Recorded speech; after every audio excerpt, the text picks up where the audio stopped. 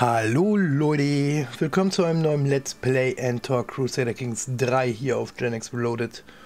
Und ja, der inzwischen 58-jährige Herzog Christopher II., dem geht's gut, soweit. Er hat nichts zu, ups, er hat nichts zu beanstanden, glücklicherweise, in seinem schönen Angria. Naja, was heißt nichts zu beanstanden, ist vielleicht zu optimistisch gesagt, denn natürlich stört es ihn, dass Ostfalen nicht wieder, noch nicht wieder zu Angria gehört. Aber das ist zurzeit halt einfach nicht möglich. Alleine wäre Herzog Matthias vielleicht nicht so das Problem. Aber leider hat er den König Frabert von Ostfrankenreich äh, als Verbündeten, der mal eben locker 9, über 9200 Soldaten hat. Deswegen ist keine Option, da einzumarschieren. Ja, wir müssen halt gucken. Das war, das ist glaube ich auch durch eine Hochzeit, genau. Herzog Matthias von Ostfalen und Herzogin Hildeburg. Wahrscheinlich die Tochter. Nee. Enkelin von... Naja, gut. Also da können wir nichts machen. Wir könnten vielleicht versuchen im Polaben, aber das ist zu risikoreich, weil so viel stärker sind wir nicht. Wir haben zwar Verbündete, aber... Jo. Hamburg ist nicht so weit weg, aber der bräuchte länger und England die bräuchten. Da haben wir zwar massig Leute. Das heißt, theoretisch könnten wir es auch mit König Freirabert aufnehmen, aber das muss ja nicht sein. Ja, deswegen warten wir. Und äh, unser Herzog Christopher ist ja eh eher der zufriedene Typ. Ja, deswegen. Noch acht Jahre. Genau, ich beeinflusse ja Graf Thomas noch. Bei 49 bin ich jetzt. Jo. Ansonsten Finanzen sind ja ganz gut. Und dann gucken wir mal, was, ups, was die Folge so bringt. 119 Jahre, vor 119 Jahren sind wir angefangen zu spielen. Ja, ist ja schon eine Zeit. Dann hoffen wir mal, dass das gut läuft, diese Folge. Ja, wir könnten um Geld bitten. Aber der ist eh noch nicht so begeistert von uns. Während ich einen kleinen Spaziergang mache, sticht das Geschrei eines Händlers in all den hektischen Treiben hervor. Seid mir gegrüßt, Herr. Ich habe eine vorzügliche Auswahl an Waren, sofern ihr die nötigen Münzen habt. Während, ich, während ich das Übermaß an Waren in den Stand durchgehe, kann ich hören, wie Graf Wolter murmelt, die Gravuren an diesem Stück scheinen echt zu sein und noch dazu recht wertvoll. Er wirft, er wirft mir einen triumphierenden Blick zu. So wie es dieser Graf Wolter, ein Vasall von uns, Graf Wolter von Werle. Ja, hat ja einige Grafschaften. Was ist das für ein Typ? Ein hinterlästiger Typ. Zornig, geduldig, knusrige Buchhalter und Logistiker. Aber er ist hinterhältig, äh, hinterlistig. Lügen und Betrügen. Hm, das wird ein richtiges Schnäppchen. Ich glaube, dieses Stück ist die lohnenswertere, lohnenswertere Wahl. Ist ein guter Verhändler. Ihr erhaltet 50 Verwaltungslebenswandel, 60 Prozent, das war kein gutes Geschäft. Ich verliere 75. Hm, das ist alles nicht so gut. Und das auch nicht. Aber da macht ein gutes Schnäppchen, ist ein guter Verhändler. Ja, das ist, glaube ich, das sicherste.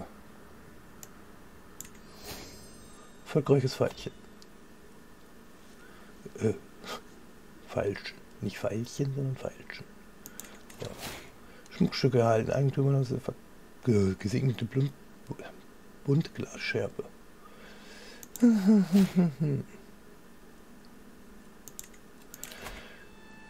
So, geteilte Aufmerksamkeit. Domainschwelle plus 2.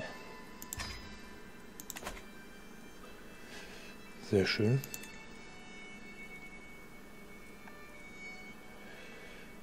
Lavendelfarbene Jadenanhänger. Jadeanhänger.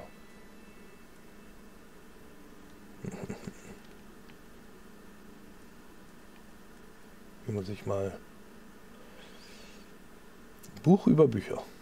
Das ist natürlich, ne? Kostet wie viel? Reparaturkosten 25. Machen wir das mal, dann ist das wieder. Könnt Bande ändern. Ja. Ähm.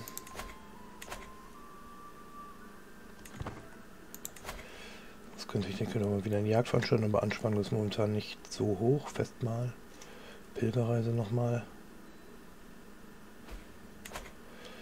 Äh, König Valeran hat einen Krieg gewonnen. Der Verlierer Flosi, Sohn von Herzog Puri, Purgilis, Purgils von Gul, was? Gulabinsklöt. Religionskrieg vom Umhäuptlingstum von Rogaland.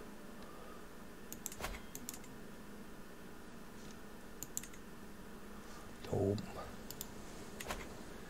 Ja, das ist aber äh, sehr indirekter Nachbar, würde ich mal sagen. Aber gut. Zitze, zitze. König Hans von Bayern. Ah, dass die immer Krieg machen müssen, die Leute. Skandalöser Priester. Die katholische Welt war schockiert zu erfahren, dass mein Sohn Fürstbischof Gewert die örtlichen Priester andauernd. Belogen hat. Anscheinend hat er sie allzu hatte sie alle dazu gebracht, auf der Grundlage eines falschen Wissens zu handeln, um so seine eigenen Komplotte voranzutreiben. Skandale unter Priestern sind zwar nichts Neues, doch ein Vorfall so nahe der eigenen Heimat ist schon beunruhigend. Seine Vergehen verdammen. Fürstbischof äh, Gewort verliert 30 Meinungen von mir, ich erhalte 100 ähm, Frömmigkeit. Eifer von Katholizismus um 10 gesunken. Fürstbischof Gebhardt für eine Hängendauerstufe. Ähm, öffentlich seinen Charakter verteidigen, auch wenn ich mich damit selbst in Gefahr bringe.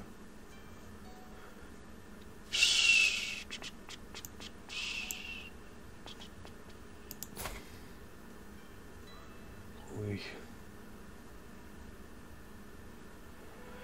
Hahaha, ich bin aber auch in Glauben. Na Mensch. Jetzt 250 ähm, Prestige und 101 ähm, Frömmigkeit. Aber ich stehe zu meiner Familie und das ist auch wichtig. Das ist auch wichtig. Graf Thomas ist nicht beeinflusst. Ja, dann nicht.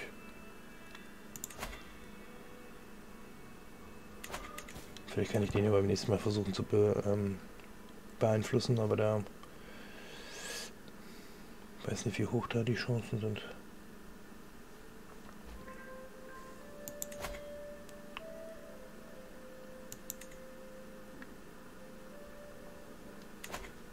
Genau. Wir könnten schließlich einverleiben. Das Überlegung hatten wir ja schon mal. Mein Sohn, Fürstbischof Gefert, hat ein neues Werk verfasst und ist bei Hofe das jüngste Tagesgespräch. Es behandelt traurige Gefühle des Verlusts und Gewart hat es öffentlich mir gewidmet. Stille Morgen im Winter. Wenn solch ein schönes Antlitz nun stets verborgen scheint, ist es selbst der höchste Herr, der weint. Ohne ihn sind wir nur leere Höhlen, einsame Herzen, jedes in seiner Zelle. Nur er kann uns füllen. Okay.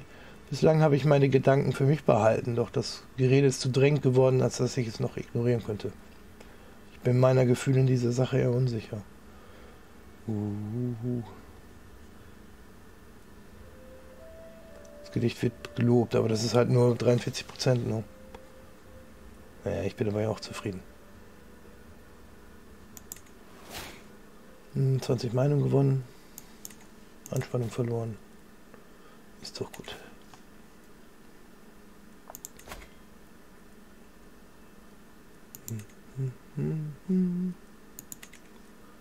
Genau. Könnt mir auch das Wilson tun. Nixgorns Krieg um Königreich. Ah ja, das war die Geschichte, Geschichte weil ich nicht tugendhaft bin. Wir brauchten das noch. Hm. Das dauert noch ein bisschen. Huch, was war da jetzt? Ähm, König Jaromir hat einen Krieg gewonnen. Verlierer Häuptling Stefana von Dessau. Krieg gegen die Tyrannei von König Jaromir. Ja, zusätzliche Steuern. Ich habe 88 Goldstücke dazu bekommen. Hier wird noch gebaut, genau. Aber ich kann hier dann auch nochmal weiter gucken.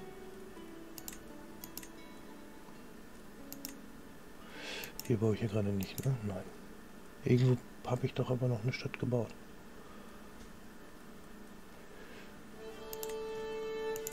Ist 0,8 Goldstücke im Monat, ein Weiler. Je mehr Weiler man baut, desto mehr Bauern können auf den Feldern zur Arbeit geschickt werden. Und wie wir alle wissen, bedeuten mehr Bauern mehr Steuern.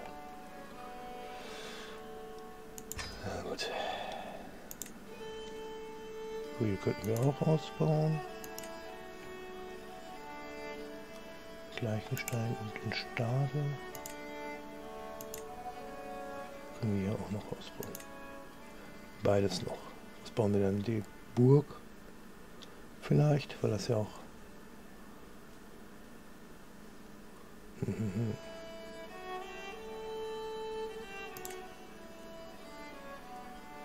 Warum habe ich eigentlich einen Handelshafen gebaut?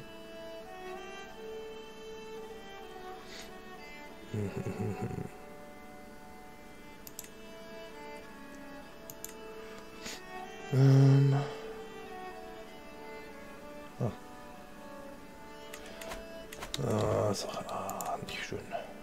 Das hat er mir jetzt schon ein paar Mal angezeigt, dass ich den Papst anbetteln kann. Aber will ich jetzt gar nicht machen. Nee, nee, nee, nee. Aber mit 20 Goldstücke habe ich ja schon gute Einnahmen, würde ich mal sagen, ne? Hm. Das hat geklappt. Ähm... Ja. Ja, jetzt ist aber Abschluss. 76 oder jetzt.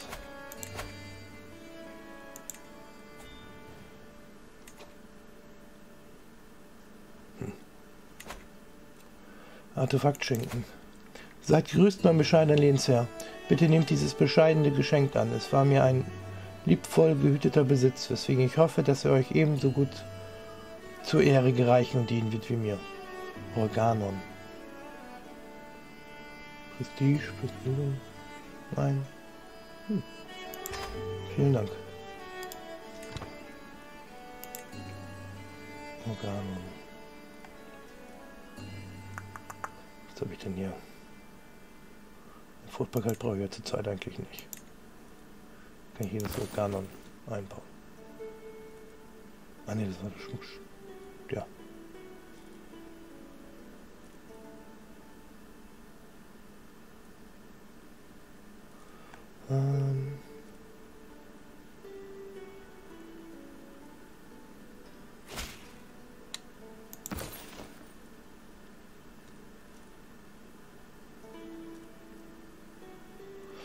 Ja, gut. Äh, Rüstung und so habe ich noch nicht.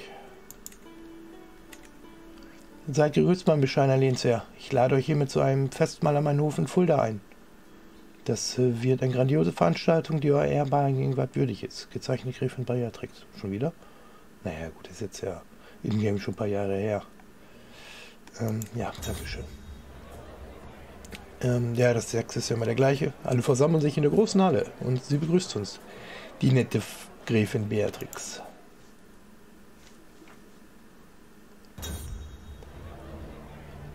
Ähm, während Gericht auf Gericht folgt, liegt mir mein Freund Graf Alwin ständig in den Ohren. Immer geht es um Segnung der Familie. Und so kamen wir auch diesen Schlamassel bei Langeweile, äh, kam, und so kamen wir auch diesem Schlamassel bei Langeweile. Ich auch euch kennt sicher nicht. Entschuldigung, ich war gerade auf die Satzzeichen, obwohl ich das schon tausendmal gelesen habe. Ja. Ähm, nein, bitte sprecht weiter. Ähm, ach, ist ein Freund. Nö, dann Sprech mal weiter, mein Freund. Ähm. Versprochen ist versprochen. Ungeachtet jeder Etikette steckt mir mein Freund Graf, Al äh, Graf Alwin auf den Rücken. Nein, wirklich, ruft er. Ich tue alles, worum ihr mich bittet. Wirklich alles. Sagt es einfach und es soll es geschehen. Sein Atem stinkt nach Alkohol, aber jeder anwesende Gast hat das Versprechen mitbekommen. Ihr steht doch zu eurem Wort. Oder? Oder nicht wahr? Ja. Haben wir nun mal alle gehört.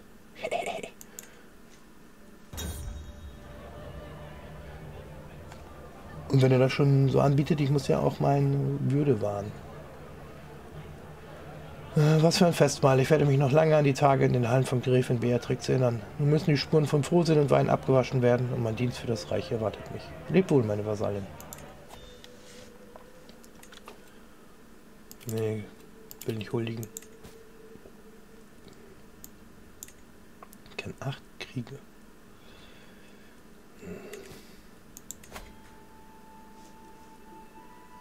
Ja, aber es ist halt doof, dass ich nur das Herzogtum. Gehört mir zwar auch alles, aber ich habe halt nicht den Anspruch auf das Königreich.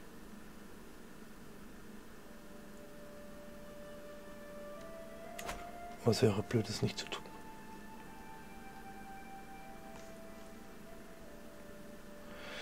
Wo sind denn meine Leute? Wo sind meine Leute?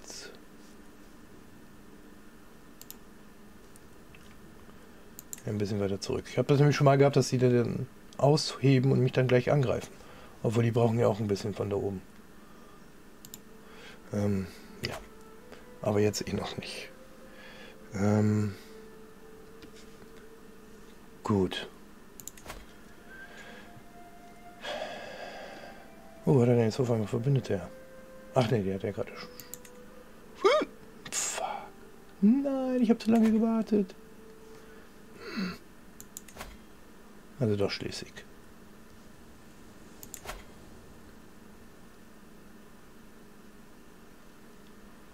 Hm.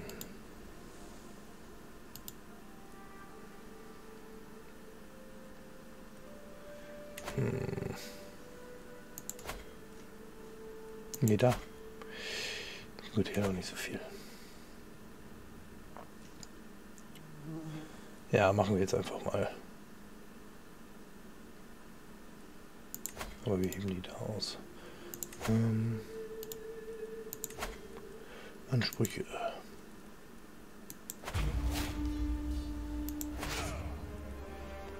Häuptling Merten wurde der Krieg erklärt. Jo, I know. So Verbündete brauchen wir aber eigentlich nicht.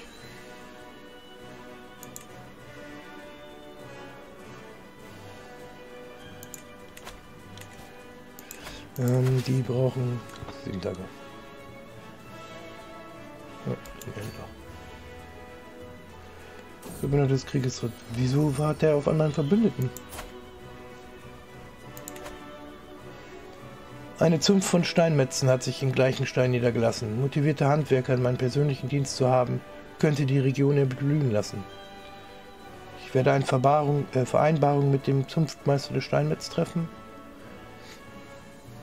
29 Prozent. Uh, jetzt wird's viel. Hm. Ja, ich mach, muss das aber so machen.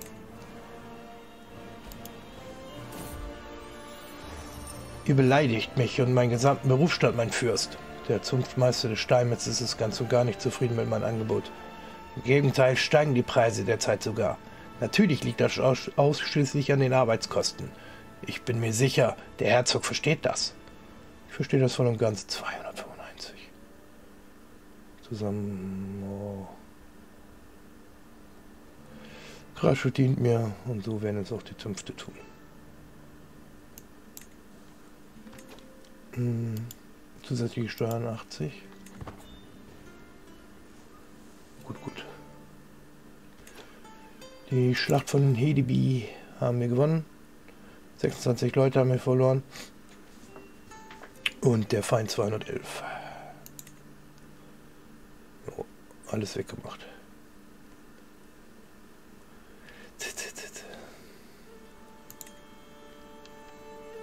Jo. Sehr schön. Wie lange brauchen wir hier? Sechs Monate. Ja, komm nur her. Komm, komm, komm, komm. Sollte ja zu schaffen sein.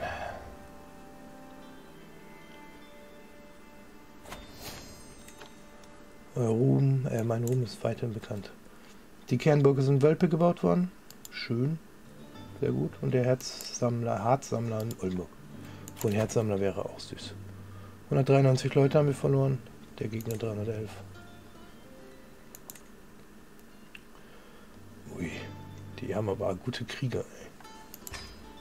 Aber sind ja die Nordmannen. Die Nordmannen, was will man machen? Eine Fraktion hat sich aufgelöst, sehr schön. Und das Dorfzentrum ist in Twistringen gebaut. Vier Monate. Graf Thomas ist nicht beeinflusst.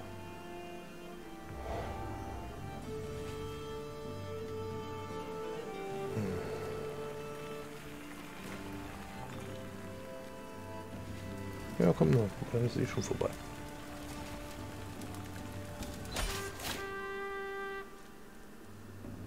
Wir haben Belagerung Gefangene gemacht, äh, Gefangene gemacht. Hildeburg, Belagerung gewonnen. Forderung. Wir erhalten den Titel. Seid gegrüßt, Cousin. Mögen eure Jahre kurz und elend sein. Ihr seid ein viel größerer Feind, als ich gedacht hätte. Um diesem Blutvergießen ein Ende zu setzen, werde ich euren Forderungen nachgeben. So sei es. Sehr schön. Können wir jetzt hier auflösen. Zu viele Grafschaften, ja.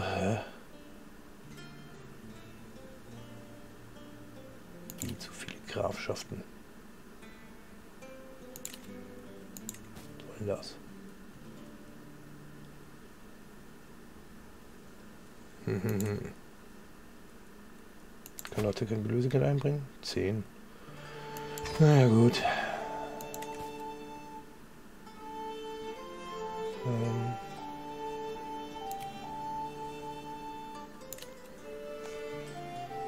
Ja, kann ich ja nicht.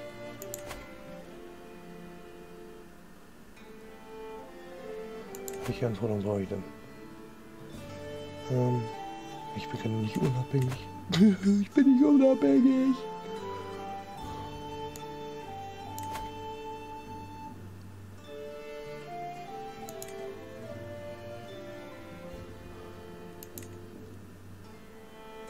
Ich habe hier schon eine. Zu wenig Leute. Wie kriege ich die nur?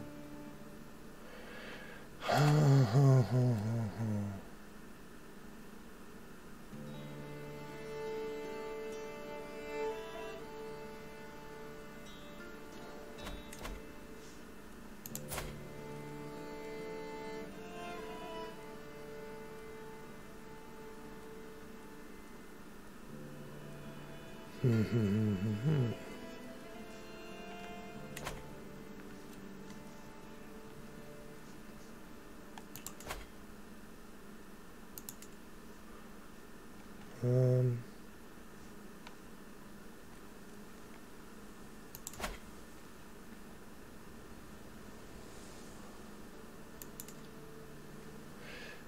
Grafschaft Schleswig.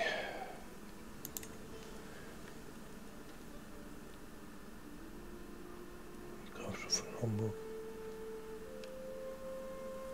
Leck. Saarbrück. Hamburg,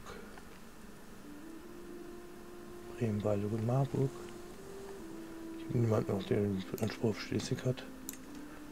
Ja, kriegt man, mein, kriegt man.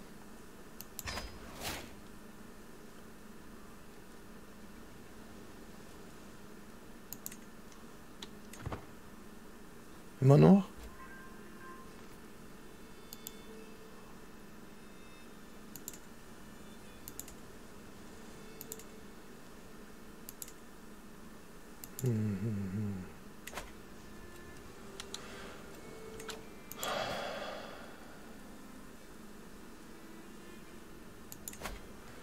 Wie Leute hat er denn? 24.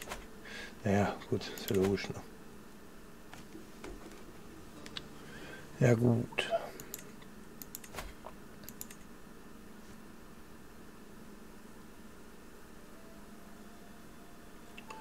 Aber erstmal muss ich den ein bisschen beeinflussen. Damit ähm, die damit ich wieder mehr Geld und Aufgebot habe. Hab. Ja. So. Die Frage ist jetzt nur, was machen wir? Gebe ich noch eine Grafschaft ab? Eigentlich möchte ich das nicht.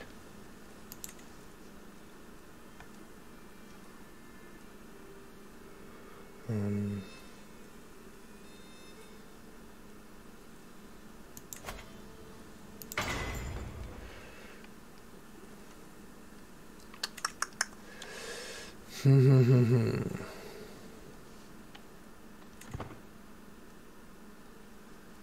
ja. Dann können auch mal wieder ein Fest noch veranstalten, kostet 70. Das können wir wohl machen. Die Gäste sind in der großen Halle versammelt, Edelleute von nah und fern. Die Stimmung ist prächtig und alle sind guter Laune, als das Festmahl beginnt. Willkommen, meine Freunde. Ja, ja. Wo bin ich? Als das Festmahl im vollen Gange ist und unsere Gäste freudig essen und trinken, tritt Oberbürgermeister Markus an Helwig und mich heran die wir an der großen Tafel sitzen.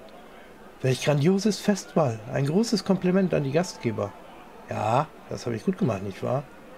Ja, nee. Haushaltsbemühungen bekommen wir.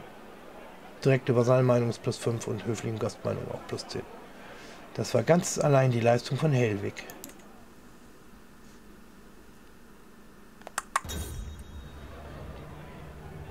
Als ich sehe, wie sich die Augen von Gräfin Eckehard bei meinen Worten weiten, wird mir klar, was ich gerade über Cecile gesagt habe. Ich schiebe, schiebe mühsam meinen Krug von mir. Äh, ich hatte zu viel zu trinken. Mühsam versuche ich mich aufzurichten. Glaub mir kein Wort. Das habe ich getan. Gräfin Eckehard die zweite erfährt vom Geheimnis von Cecile. Eine Affäre. Böse, böse. So, wir können neuen äh, Vorzug. Den letzten Architekt. Jo, die Verwaltung plus 2, Gebäudebauzeit ist gesenkt, Gebäudebaukosten ebenfalls, sowie die Bauz Besitztum, Bauzeit und Besitztum, Baukosten. Vielen Dank. So, was kriegen wir hier denn? Oh, ein Thronanspruch komplett. Schaffe ich das noch?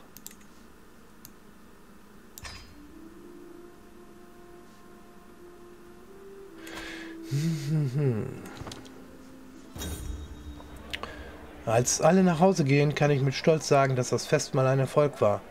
Dieses Festmahl konnte nur stattfinden, weil meine Gemahlin Helwig so viel Einsatz zeigte. Und als sie die letzten Gäste verabschiedet, überkommt mich ein Gefühl der Dankbarkeit. Bis zum nächsten Mal. Eifrige Frohnatur, ja, die hatten wir ja eh schon. Diplomatie plus 2, Ränkespiel plus 1 und Meinung über Frohnatur noch plus 10.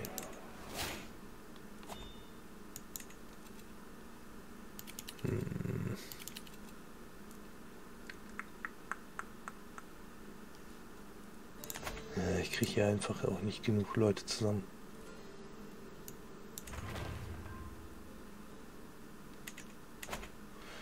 Weiland Diepholz gebaut. Ach ja, genau. Ich wollte eben... Ähm, genau. Sieben Monate ist hier noch.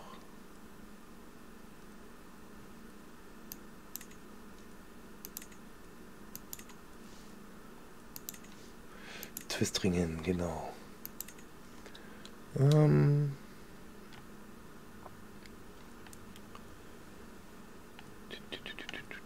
Hier machen wir mal wieder äh, grünes Land.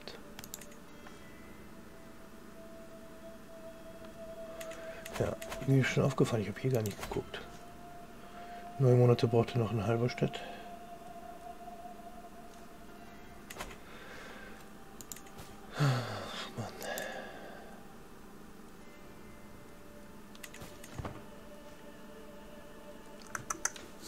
natürlich blöd mit der Reichsgröße und dass ich jetzt momentan nicht, mich noch nicht unabhängig erklären kann.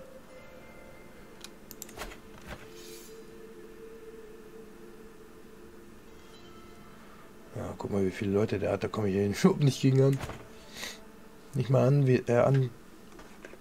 Satzweise, würde ich sagen. Ja gut, aber das überlegen wir uns dann noch, wie wir das machen. Vielleicht kriegen wir den Anspruch durch.